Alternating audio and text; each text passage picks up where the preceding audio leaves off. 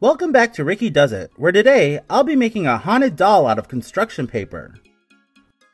For this, I'll need a pencil, a pen, some scissors, a glue stick, some colored pencils and crayons, and of course, construction paper.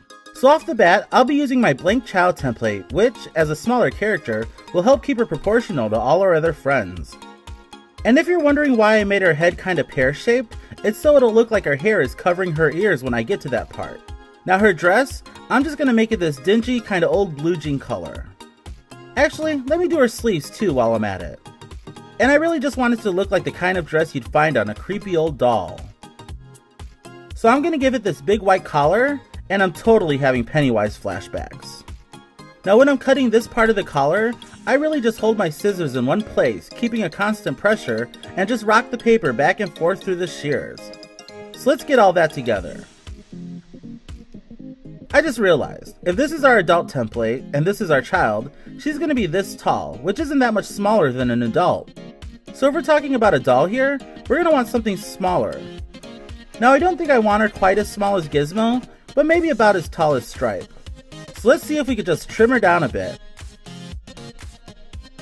Yeah, I think that'll work. So let's get those legs and feet, and do them two at a time. Now I'm just going to cut out a strip of lace for her sleeves, and cut it down to size. Now let's get her set up with a nice pair of Mary Janes.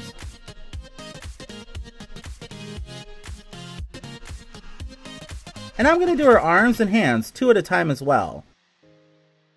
But those little fingers might be a bit tricky. I gotta say, for scary hands that are gonna get you, these are pretty adorable. Now this hair, I'm just gonna make it kind of full and wavy. And now, I'm just gonna cut her out some bangs and trim down her head a bit to make it work. So I kinda love how at this point, we're just making an adorable little paper doll. Like she really looks like she just wants to give you a big ol' hug, doesn't she? Now there's not a whole lot of drawing we need to do here, so let's get her face laid out. And I'm to cut out the whites of her eyes. And her teeth. Trim that grin down just a bit. that looks great. So let's get that all glued on. And now, I'm just gonna struggle trying to get the reds of her eyes both round and the same size. So here's a quick montage of that. And just before I'm about to give up and just color them in, I get something I could work with. You still want that hug? And now we color. If you like this video, don't forget to subscribe for all future videos. And why not give it a thumbs up and share it with someone who's awesome? I'm going to use a colored pencil on her face for a bit more precision, and I just really want some dark shadows around her eyes and on the sides of her mouth, just to give her a real aged and spooky look. I'm also going to make those cheeks nice and pink, the way an old doll would be painted. And now we ink. And I was trying to figure out what I wanted to name her.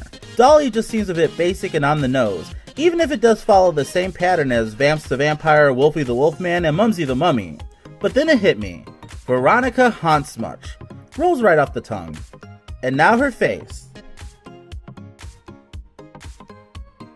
I love it. So let me just get some cracks in there, as if she weren't creepy enough. And there she is, our haunted doll. So let's get a few friends of different sizes out here, and I really think she rounds out the gang quite nicely. I still plan on making one more video before Halloween, so fingers crossed. And if there's anyone else you'd like to see me make, let me know in the comments, and yeah, thanks for watching. Click here to watch the playlist I just mentioned. Click down here for my latest video and what YouTube thinks you'd like to watch next. And be sure to subscribe for all future videos. See you soon!